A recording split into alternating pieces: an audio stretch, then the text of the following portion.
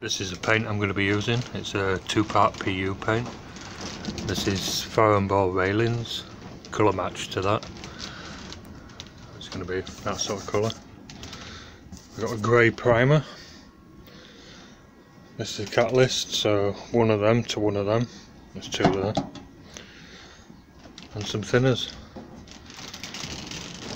But before I start painting these I'm just going to go around, make sure all the corners are knocked off sanded round, sand these bits where the screws went in, and just generally make sure they're ready. Right, these are the these two are the end panels for the tall unit. I'm just sanding the edge of the MDF with 80 grit, just get them smooth. Now I'll take off the edges, take off the sharp corners with that and then I'll go over it with 120 get it smooth. And I'll leave it at that.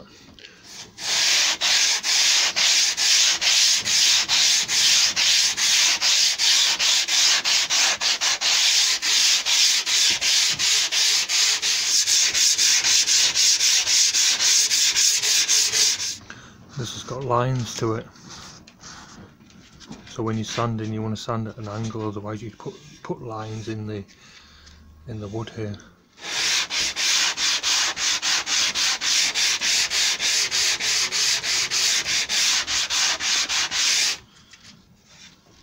And then using the soft side. Just as I'm sanding I'll sand like that then round it round it over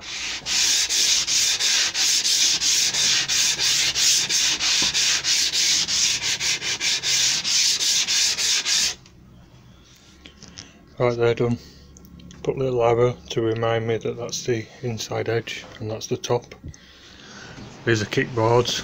I'm just going to take the sharp edges off them because I might be cutting them anyway. But I'll spray one edge just to seal it when it goes down to the ground for when you're mopping the floor and stuff.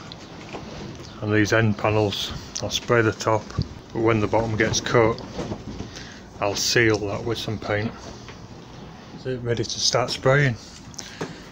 Before I do, I'm going to spray a bit later in, a, in an hour or two. I'm just going to blow everything down, even the stuff up there.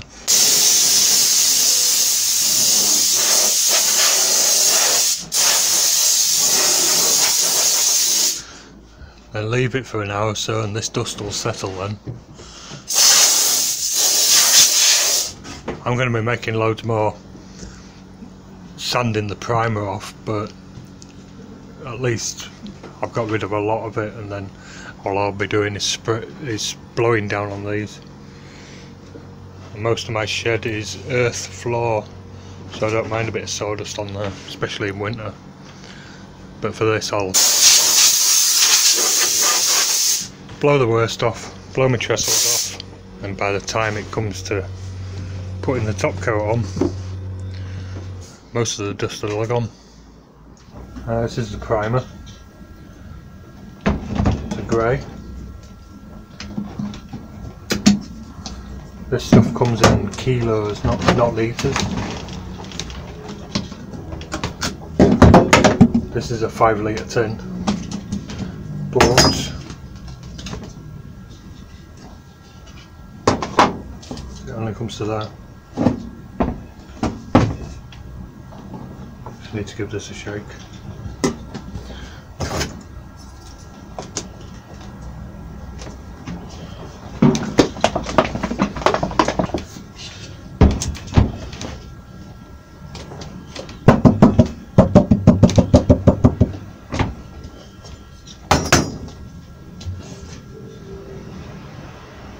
There you go. It's quite thick.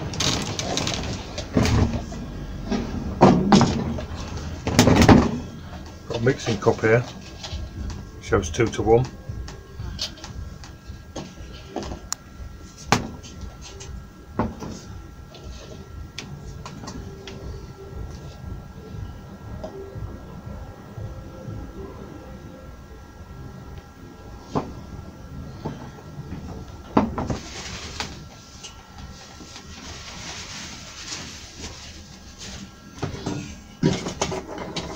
this is a catalyst so one of these.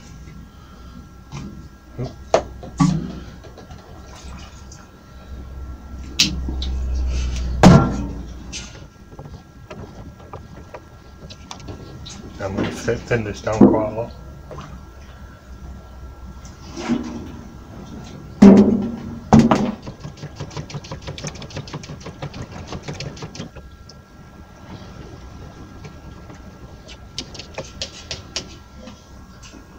using the DeVilbiss again, 1.8 nozzle in it, and 190 filter.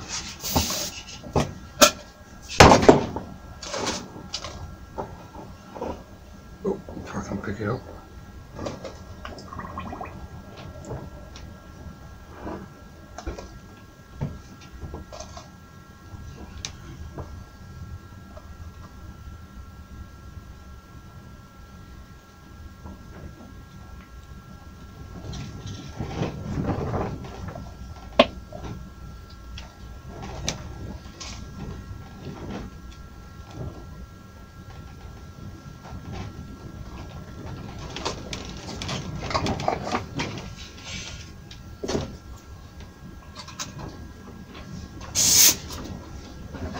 Got to make sure that little hole in there isn't blocked. Then being tight. I'm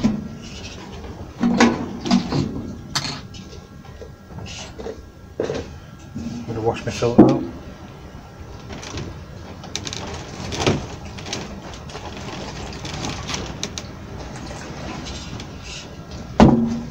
Then that bit of thinners in there will go into the next mix and the filter will be good to be used again. Right, when I start spraying I'll start at the top, then when I'm dragging it out I'm not dropping stuff onto the ones below.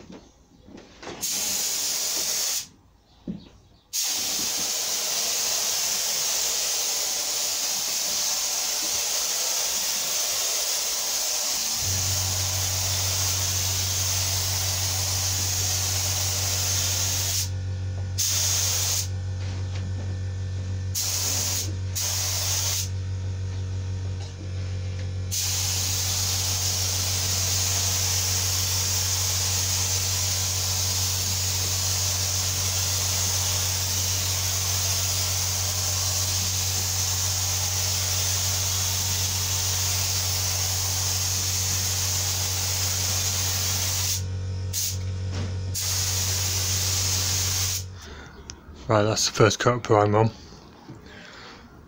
And normally, when I'm spraying a whiter colour, a light colour, you can see a dark line around there. These are quite good actually, I'm surprised. But normally I'd have to fill them. I don't think I'm going to on these. See that dark line there? Really shows up. But I'm spraying a colour that's it's almost like that. So dark you won't see that. There's one or two little issues like there. Little tiny split. Well, it's a knot, an open knot. And on this one, there's a little dent in the wood there.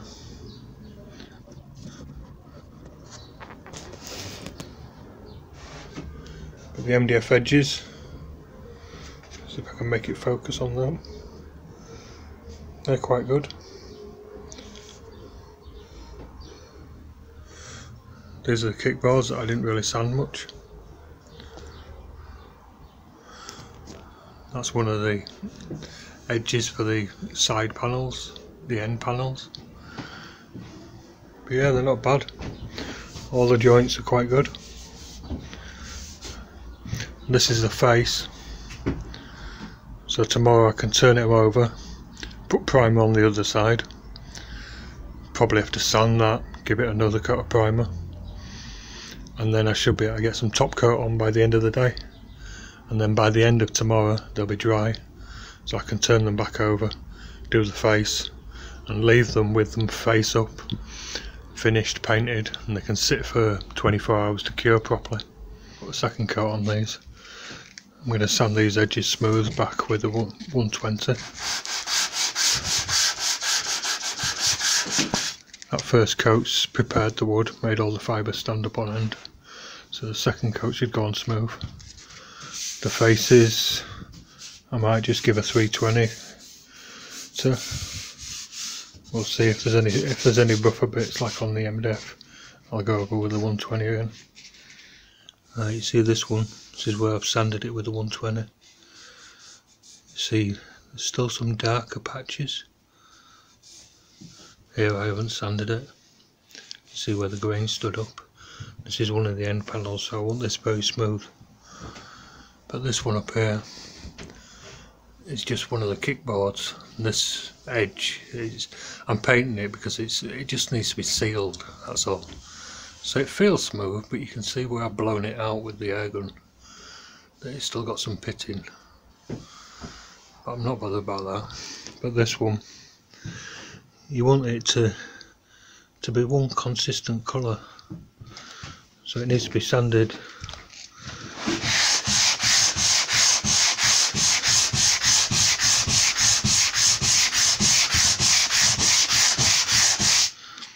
See that looks quite nice, but if I just get the air gun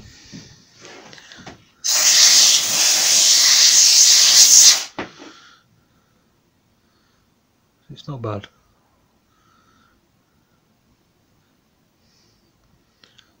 I'll go right over that. Make that smooth.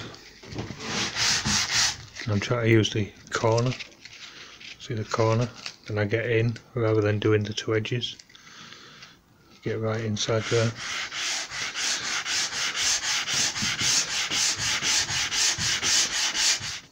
and these edges I'm going over with the soft squishy side it's very easy to take too much paint off there you have to end up building it off. That's the edge. That was just sanded. I'll go over there see how it forms to the shape. And the faces I'm just going over with the hard side on the 320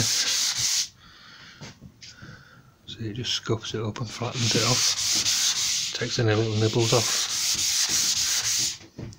I've got some more lights in here. Look I'll blind you. It's one of them tripod sight lights that I never use so I thought I might as well use the lights up there a couple of strips that were alright but they make quite a difference good light in here is important. So you see all the little marks. Turn them off. See the shade? There you go. I like that. Might even get some more. This is probably the most labour intensive part of spraying.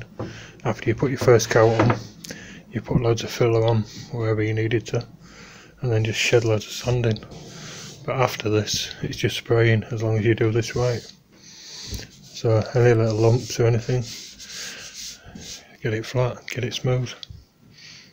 I can't get me block in this one. So cut one down. Cut my old one down. See sometimes it's worth not throwing things away that's my excuse anyway right that's the second coat going on you see the kickboards where I didn't sand them properly. I was only sealing them. You can just see the, the grain or the edge, the MDF, whatever. You see these end panels, they're quite good. I'll give them a rub down with the 320 now. I won't really able to spray this side, you know, from underneath. So I'll turn them over and spray that bit, and these will get another coat then.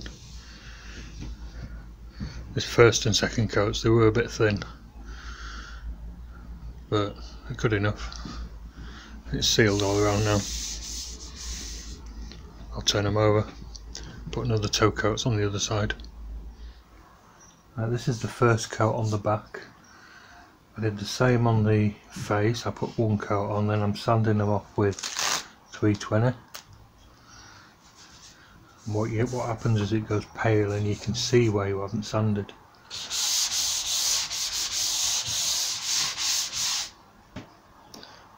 Don't think it picks it up but it goes pale you can see where you haven't sanded. You just want to sand it smooth.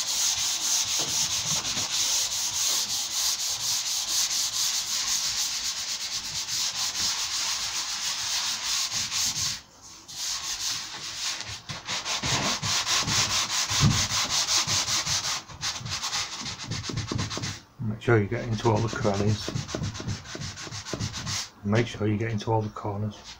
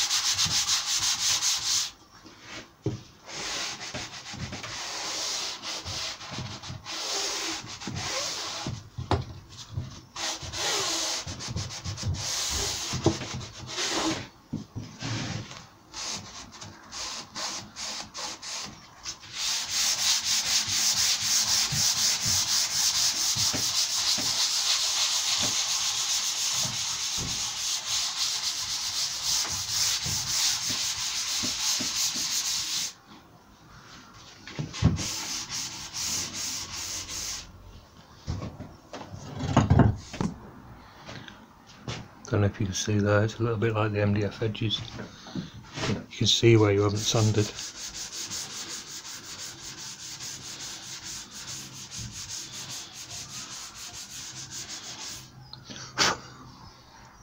Now although it's been sanded and the dust is loose, it still sticks even when you blow it even when you blow it off it seems to stick so using a clean brush well, that's two coats of paint, two coats of primer on everything. These edges are nice and smooth now. What I'll do is give them a quick rub over with the 320 just to remove any any little nibbles, but I won't go too deep. I won't sand it too hard. And we can get some top coat on. Nice grey. This is Farrow and Ball railings it's colour matched to it anyway, it's two part paint again, same as the primer.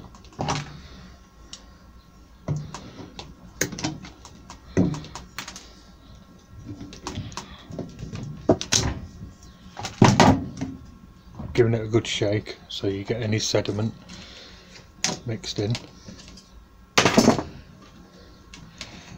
Because I've shaken it, there'll be loads of paint on the top of it, so lean it to one side just tap it and that helps the the stuff stuck underneath to, to fall down. Once to this edge and drops inside you can hear the tone of the chain tone change.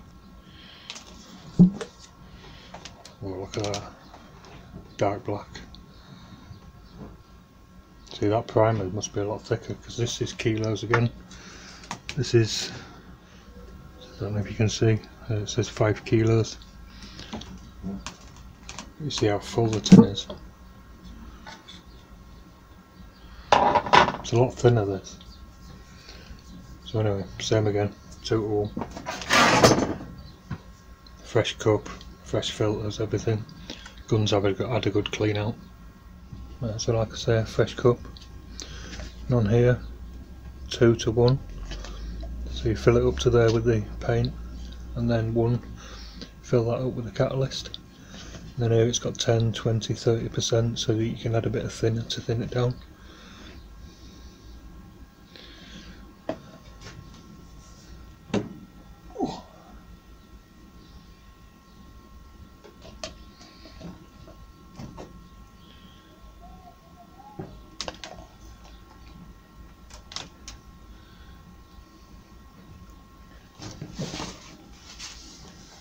and the catalyst up to the one.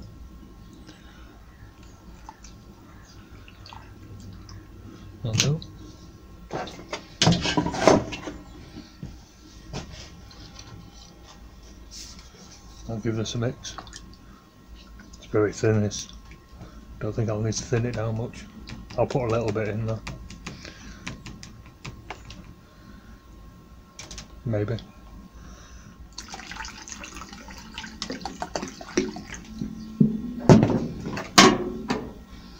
I can't see the marks on the side so just do giving it a splash.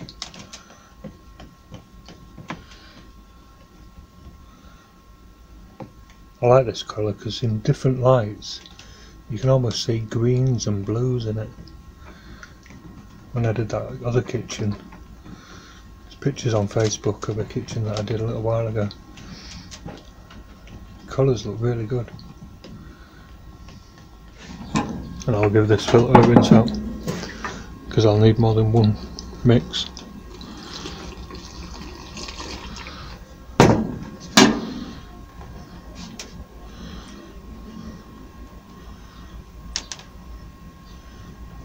Seems to be a lot of sediment in this.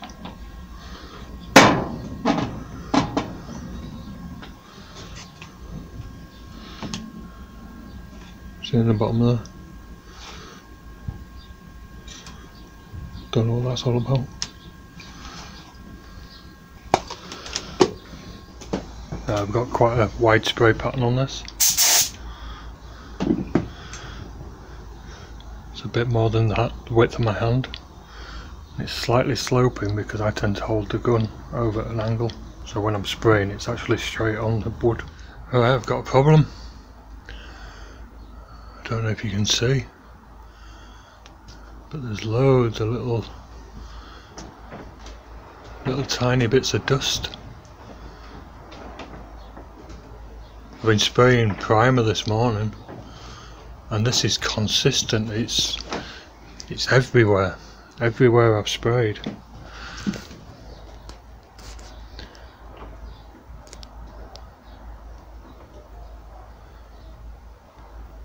When I filtered it, I got like a like a very fine residue in the bottom.